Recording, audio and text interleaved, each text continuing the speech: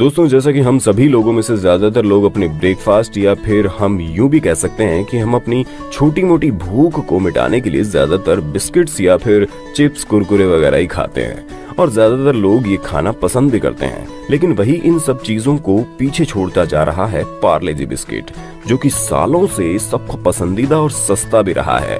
लेकिन क्या आप जानते हैं कि इस पैकेट पर छपी ये छोटी सी बच्ची आज कितनी बड़ी हो गई है और कैसी दिखती है? अगर नहीं जानते तो जानने के लिए वीडियो को लाइक ज़रूर करते हैं दोस्तों, जैसे कि हम सभी जानते हैं कि आप और हम बचपन से ही पार्ले जी खाते हुए ही आ रहे हैं और बड़े भी हो गए, लेकिन फिर भी इसके बारे में बहुत सी ऐसी जानकारियाँ हैं जो हम नहीं जानते। जैसे कि पार्ले जी एक भारतीय कंपनी है, जिसकी शुरुआत अंग्रेज़ों के जमाने से ही हो गई थी। मुंबई के एक मिल पांडे के चौहान परिवार ने उन्नीस में इस कंपनी की शुरुआत की थी और बाज़ार में अंग्रेज़ी बिस्किट की बिक्री को देखते हुए पार्ले जी ने उन्नीस सौ उनतालीस में बिस्किट बनाना शुरू कर दिया।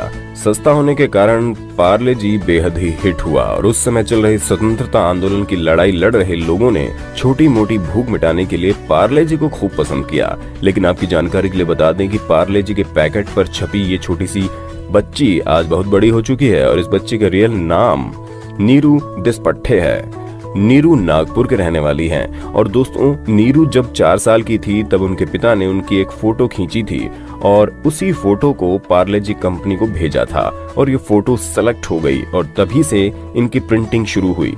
आपकी जानकारी के लिए बता दें कि आज नीरू इतनी बुज़ुर्ग हो चुकी है, जिसे आप खुद भी देख सकते हैं।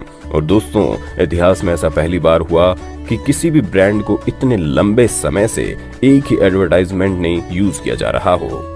तो दोस्तों, अगर आपने भी पार्ले जी बचपन में खाया है तो हमें कमेंट सेक्शन में पार्ले जी लिख कर ज़रूर बताएँ। और दोस्तों, अगर वीडियो अच्छी लगे तो लाइक करें, अपने दोस्तों के साथ शेयर करें, और अगर हमारे चैनल पर नए हैं तो जल्दी से इसे सब्सक्राइब कर लीजिए चैनल को, क्योंकि आने वाली हर नई वीडियो की नोटिफिकेशन आपको मिल जाएगी। धन्यवाद।